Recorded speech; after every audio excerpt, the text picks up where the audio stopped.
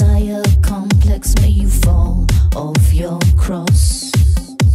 You think you have all the answers, don't you? But you live so blinded by your thoughts.